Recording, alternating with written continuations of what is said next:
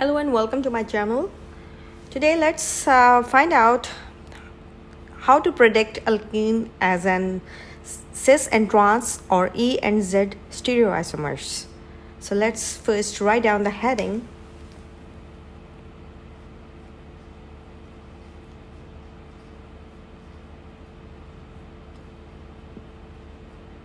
How to predict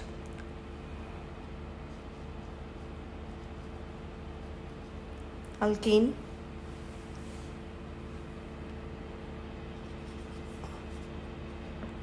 as cis and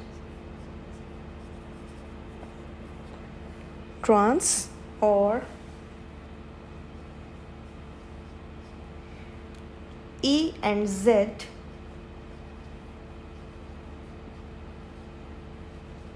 stereoisomers. This is today's topic. Very interesting one as we are dealing with nowadays the isomerism and stereochemistry and stereoisomers and in my previous lectures i've explained uh, each and every uh, this uh, these terms so let's proceed further with this new topic today that how you can predict an alkene to as it can as it could be a cis and trans or ENZ stereoisomers. I'm Professor Dr. Moina Akhtar Mughal from Dr. M. Institute of Chemistry, University of Sindh Jamshoro. And I'm here again with a very interesting topic. So let's start. There are two methods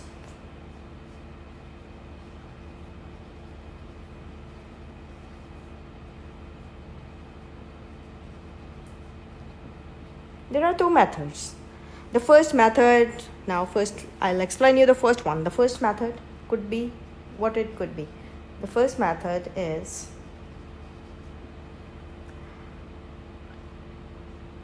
is to simply imagine or reciprocate or exchange or swap any of the two substituents connected to both of the carbons of the double bond.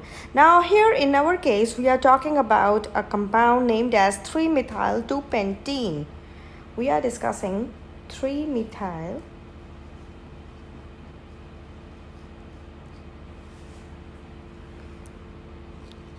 2-pentene.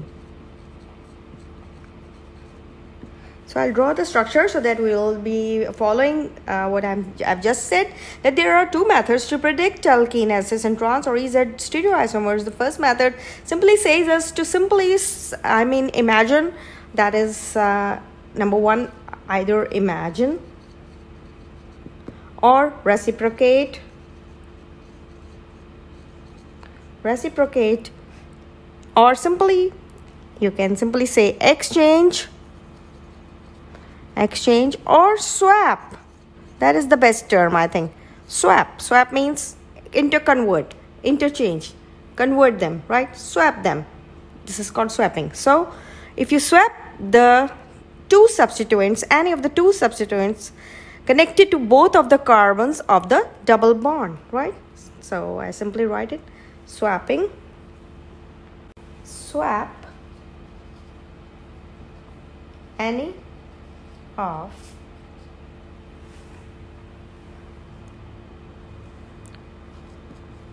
two substituents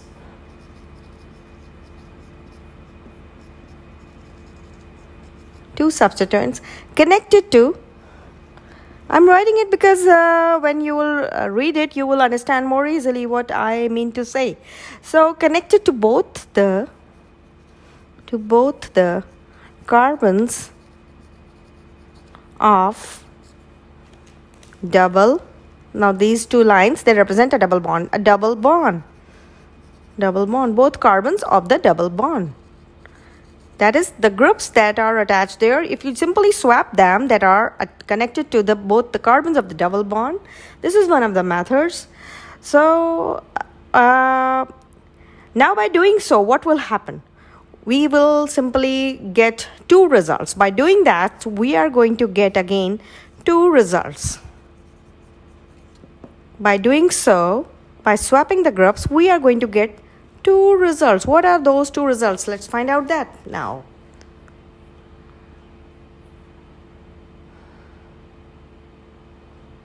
Okay, let's draw the molecule first.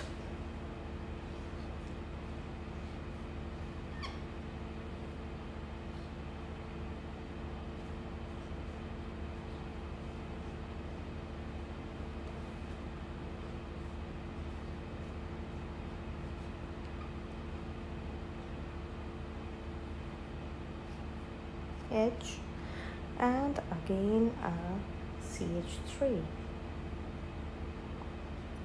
so this is your compound we are mentioning today. This is 3-methyl 2-pentene um, now you can simply number. Of course we are going to number the carbons from the end where the double bond is near right according to our IUPAC rules. So this is carbon number 2 carbon number 1 this is carbon number 2 this is 3 4 and 5 I'm uh, writing all these things clearly for all those newcomers beginners who are a little bit weaker in the nomenclature so they will be able to understand also how you to name them when you have a double bond. And you have a substituent also. We have a methyl substituent because you are going to select the longest chain. So this is the longest continuous chain chain having a double bond and a methyl group. So now from where to start? Of course we are going to start from the end from where the double bond is near. But the substituent will be named first. That is for example the name of the compound is 3 methyl 2 pentene you are going to name it like I will just show you 3 methyl that is this methyl right? 3 methyl then a dash. 2 pentene this is how you're going to name it. This is the name of the compound. So now uh, according to our prediction our i mean statement we are simply going to swap the two groups that are attached. Now what which groups are going to be swapped or interchange or uh, reciprocate or um, simply exchange? These are all the same terms uh, and they have the same i mean meanings so you can use any of them but the most proper term is uh, uh, interchange or swapping the compounds. So let's swap the compounds. Which uh, let's swap the substituents which which groups we are going to swap? These circled groups. Okay I am going to circle it with a red marker so that it will be easier for you to understand how you are going to what you are going to get when you will uh, I mean you will interchange the two circled groups. So I will now put a long arrow and I will going to write it down. Interchange interchange circled circled groups right? Interchanged circles groups. Which groups? These two circle groups will be interchanged. They will be swapped. They will be i mean one will go to to its place this one to this place and this one will come to this place right? What you are going to get here the resultant molecule the molecule which you are going to get here what you are going to get? Let's see that. Okay so what you are going to get here is like this. If you interchange the two groups you are going to get this will go there. That's this one over here. So it would be like ch3 ch2 ch3 and this side would be the same. That is h and ch3 this is you are going to get. Now what is happening here? You have swapped these two these two groups are swapped. They are interchanged. So what you're going to get you're going to get this molecule over here. You can see have a close look of the molecule which you're going to get. Okay fine. This much glimpse is enough. Now by doing so we are going to get the two results. The resultant molecule is giving us two indications. What? Either number one what would be that the either this resultant molecule either this resultant or molecule or associated. This is the resultant molecule.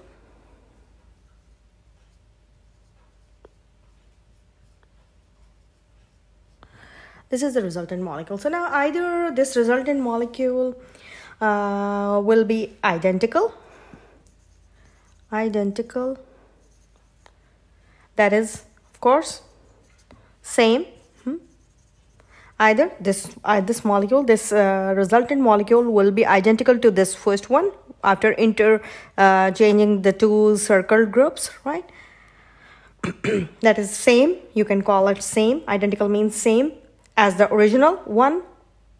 Or you can call it superimposable that it all the groups they are aligning together. All the groups are aligning on one on one another as my hands are aligning one on top of other. In this way they are aligning right? This way they are aligning. You can see right? But if you simply put the reflection of your left or right hand over left hand it won't coincide. This is this is not superimposable right? So this is what they are saying. I just, again repeated what is superimposable and what is non-superimposable so either uh, there are two cases now as i've just mentioned. The first one is uh, now we are first discussing with this first one that the resultant molecule after the interchange of these two groups it would be either uh, identical or same or superimposable or superimposable superimposable now we come to the second option or our second option. What could be the second option now? Or the second option would be after the interchange of these two groups the second option would be it would be different. That is uh, of course a stereoisomer. It would be different. This resultant molecule would be different from this one. That, that means it would be a stereoisomer. If it's different that means it's a stereoisomer. So second option is it's a different molecule. Different. That corresponds to what? Of course a stereoisomers stereoisomer Now, why are stereoisomer? Because of the similar connectivities. Now, they have the similar connectivities. You can see, of course, a methyl group, then this group, then this methyl, then hydrogen. Again, here you can see they are connected in the same way. The connectivities are almost the same, right? But they are the same. Connectivities are the same. So, why they are, they are called stereoisomers? Because of the similar connectivities. Why stereoisomers? Because of similar, similar connectivities. connectivities. Now let's draw to follow and then of course I've drawn. Now let's I will show you the models now. On the models I'm going to show you how I have interchanged um, the circled group that is these two groups how these were uh, interchanged. And then of course after interchanging uh, you are going to get a different molecule. That is of course a stereoisomers right so that is some of the groups they fail to align. Now how they are, if you superimpose them, they are going to, they will fail to align. Now what is that? I mean, uh, exactly uh, how it looks like. I will show you with the help of the molecular models, which I have uh, prepared uh, just now for you people. I have a molecular model in my hand now here and here also. These two molecular models. Now let me let me show you how to first of all i will show you the first one which is of course the this one right? Uh, before the interchanging of the groups right? This is the methyl same methyl group the methyl group here right? This is a methyl group and a methyl group. This is a hydrogen a hydrogen. Yes of course a hydrogen. Then you have a now i will place it like here. You have a double bond. A double bond you can see a double bond here right? A double bond Hmm. There it is, a double bond. Then of course a carbon, the second carbon, first says first carbon and the second carbon, right? Second carbon. And then of course a CH2. This is CH2, CH2 and CH3. And of course a methyl group here. So CH2, here you can see CH2, CH3 and of course a methyl group here. So this is this, this compound. Now look at the connectivities, right? Now I'm going to interchange the two groups. That means this methyl will go there and this group will come down. Interchange, swap. I'm going to swap them.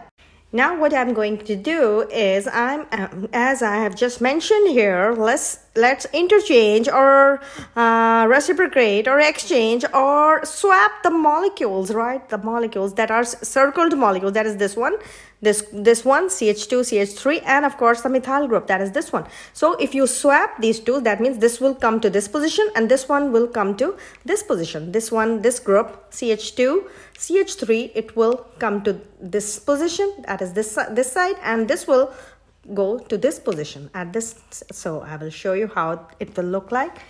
Now this is the molecule here. I have swapped. Now just see. After swapping right you can see a methyl group here and of course so you have seen uh, of course this group that is ch2 ch3 group it comes down and this one goes up. That is over here. You can simply see the double bond. They have been swept now. They have been swept this is the this structure the resultant structure. This is this this structure now. You can compare the structure easily you can see. Now these are this is the same methyl group then hydrogen there it is. And then of course uh, this methyl group that is at the top and of course this group. Over here that is ch2 ch3 right? Now after interchanging the two groups you can simply see that they have become they are completely different. They are it's totally different from the first first one how it is different. Now you are going to we are going to now this was the first molecule right? And after interchanging uh, the groups that is this group and the methyl group you got the resulting compound that is this one which i am showing you here right? The right one. This is the resultant right? And this is the original molecule and this is the resultant molecule. So now if I superimpose them, why I call it stereoisomer, why I call it different molecule, they are not, I mean, uh, they have the similar connectivities. Of course, that's why they are called stereoisomers. But if you simply, because uh, why they are not, I mean, um, uh, aligning, let's, let's, let's try to align them. Okay, methyl group and a methyl group. Yes, it's aligning. A hydrogen and a hydrogen. It's aligning. Okay, then the double bonds and the carbons, they are aligning. Fine now what about this methyl group and this group? Look at here. They fail to align. Just see a methyl group and an ethyl here. This ethyl group. They fail to align, right? And over here also. What you have? A CH2 group. Sorry, a ethyl group and a methyl group. So these two groups, they fail to align. These two groups, that is this one, this one and of course this one. So they are not superimposing right? They, are not superimposing. Rest of the molecules uh, were same. Of course this this methyl this methyl yes this hydrogen this hydrogen but uh, this molecule uh, after i mean these uh, the double bonds the carbon having these two double bonds they are these groups attached to the, this carbon these carbons they are not aligning. They are not superimposable right so now what is happening here that of course uh, when they say when these groups they fail some of them are failing to align right? We call them different molecules we call them stereoisomers. Now here is as the above alkene now can present itself as uh, cis and trans or e and z stereoisomer. Now they are representing them as cis trans or um, cis or trans or you can call it e and z stereoisomers right? So both now what is happening? Now both of these carbon atoms right the carbon of the double bonds that is this one the both the carbons of the double bonds um, what they have specific names. What are they called they are called stereocenters. Well, now what is a stereocenter? A stereocenter these two carbons are the stereocenters or stereogenic centers. Now, what is a stereocenter? It's an atom whereby exchanging or swapping the two groups gives a stereoisomer. So, yes, we have swapped the groups and it gives us a stereoisomer. It becomes a stereoisomer. So, both these carbons are stereogenic centers or stereocenters both these carbons they are stereogenic centers that is the, these these two carbons they are the stereogenic centers or stereocenters right these are the stereocenters or stereogenic centers so this is again a new term you have learned a stereocenter or a stereogenic center Now let's discuss the second case. The second case. What is that? I just mentioned it to you. What is a stereocenter? What is a stereogenic center? It was simply what it was. It was simply that um, if you simply um, uh, you can call it if an atom you is a stereocenter that if you exchange or swap the two groups uh, it gives you a stereoisomer. So it gives us a stereoisomer in the first case. Now we are discussing the second case, which is the opposite of the first case. So what could be that one? So let me draw the structure first for you people to follow. Let me draw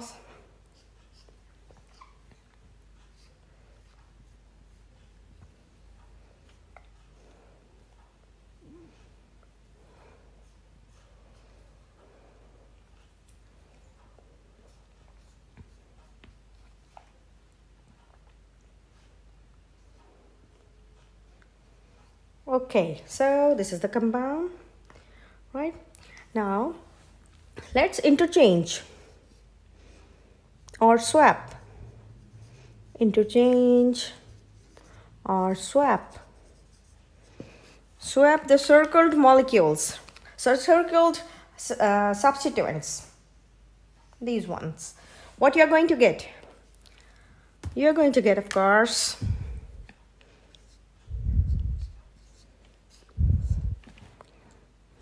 hydrogen, methyl, again a methyl, and of course a methyl here. Okay, now what are these two? What are these two telling us? These are the identical molecules. By interchanging the circled uh, groups, we got the identical molecules. These two molecules are identical. These are identical. What? Okay. So now, though by looking at the molecule on the right, it does not look identical to the one on the left. But in reality, they are. They are identical molecules. And um, I will uh, simply show you by making a molecular model so that you I can uh, show you the atoms if they are aligning, if they are superimposed by, by, by atom for an atom. Okay, so let's make the molecular model and let's see if this is happening or not. If they are uh, in reality the identical molecules or not by interchanging the two or by simply swapping swapping the groups we are going to get the stereogenic centers or not stereocenters or not we will see right now so these are the two models. Now after the swapping of the groups, I have, I, I have just prepared this molecule. This is the same two groups.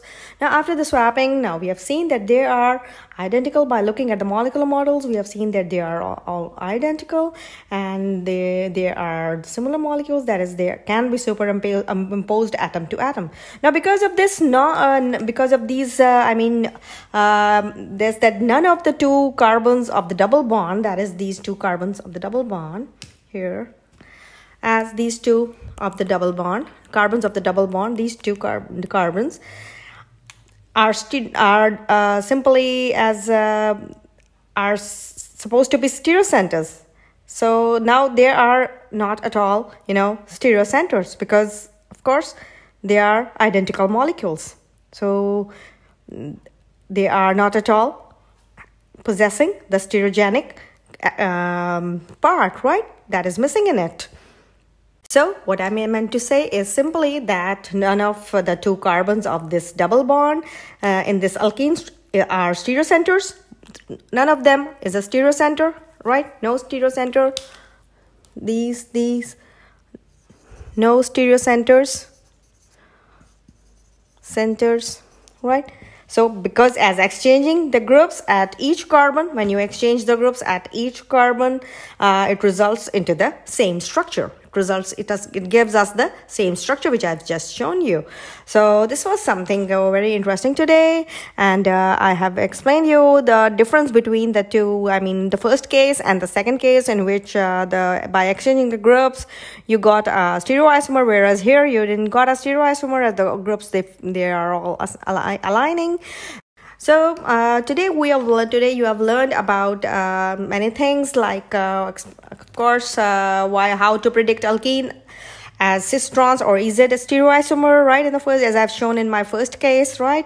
And of course then afterwards uh, and i showed you how it you you can find out the stereo centers. What is a stereo center right? Right? I've uh, explained you why you call it a stereo center um, and if someone asks you is it a stereo center or a stereogenic center? You can call it stereo center or a stereogenic center. It's one and the same same thing that uh, of course what it is that by exchanging or swapping the two groups gives a stereoisomer so both these carbons are called the stereogenic center but not in this case. The case that uh, that was discussed earlier right? This is not the case.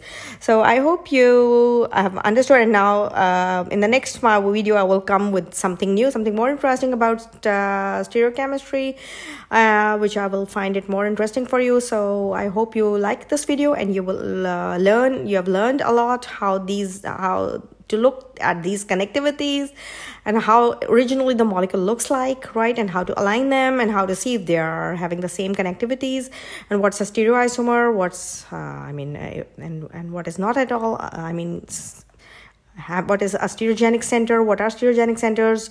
So i hope this you like this video and you will um, learn it and you will share it among your friends and you will compare it with your notes your uh, handbooks whatever you have been provided with and you will learn from it. So see you back again with something more interesting and new. Thank you very much. Hope to see you again. Bye bye so this is also fun to i mean reassemble back the bonds and the things back to their packages. This is also interesting for my students to see how much uh, I mean uh, work is done behind the scenes right? So these are all the things that I'm now doing behind the scenes disconnecting the atoms and putting them back to their different four boxes as the, these four box this box is very precious to me. So now putting off the hydrogens. This is fun like thing but I thought I must show you that this is also part of this video that I have to uh, I mean disconnect all the bondings and I have to put back all the things to where they belong to. The, the all the bonds. See right? These bonds they are not difficult to disconnect i mean but yes this is also part of the game so you should know that what is going on behind the scenes. This is also very interesting. Why should someone not show you people? You should see how your teacher is i mean fully committed to you people right? How our teacher is is I mean with the help of its molecular models how your teacher is letting you see each and everything. Oh this is a, such a beautiful double bond. I don't want to disconnect it but I have to disconnect it because they will uh, I mean no more be in their correct shape. See they are now a little bit curved as double bonds are a little bit curved. See they are they are difficult to break. So that's why I need to make them a little bit more straighter so they should look good. They are simply not looking that good now the next one. Yes. So I hope you like this part of the video also. And you'll see that Dr. Moina, Dr. Mchem is now disconnecting all the bonds and how it is done. And nobody's helping her. This is the most important part I have to do everything on my own and this is what you should be like. Do it try to do everything with your own beautiful hands. This is it. And the hydrogen atoms here they go. Back to where they belong to. Just like the people they will simply vanish when their work is over when they're goal is achieved, they simply vanish from that place. You forget the people whom they were connected to once, right? So this is the same thing, how the bondings are disconnected, right? See how easily the bonds can be broken. this is how it is i hope you like this part of the video also and now i will put back the things where from where they belong to you can see here these bonds the shorter ones and the double bonds. I'm putting them back to their origin from where they and i'm going to count them also as well because this is also very important part. I don't want to lose do not want to lose them. So i need to count them. I'll count, the, count them afterwards if i do not miss any more no. Because you know this this package as I've told you. It's very precious to me. So this is done. It's back to its place. Now the white ones the hydrogens they are I will collect them and I will put them back from where they came from. Back to your home. Come on. Here they are. Again back to where they belong to there they go so done with the hydrogens. Now of course the small ones I mean not the small ones the large ones they're carbons the most important ones. So let me put back the carbons. Here they go. So there we are.